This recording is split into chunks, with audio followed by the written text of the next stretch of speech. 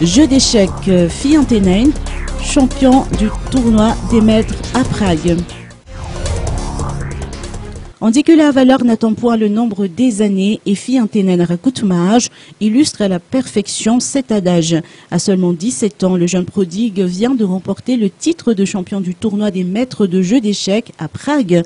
De nationalité malgache, le jeune homme a remporté le titre de champion de Madagascar à l'âge de 10 ans.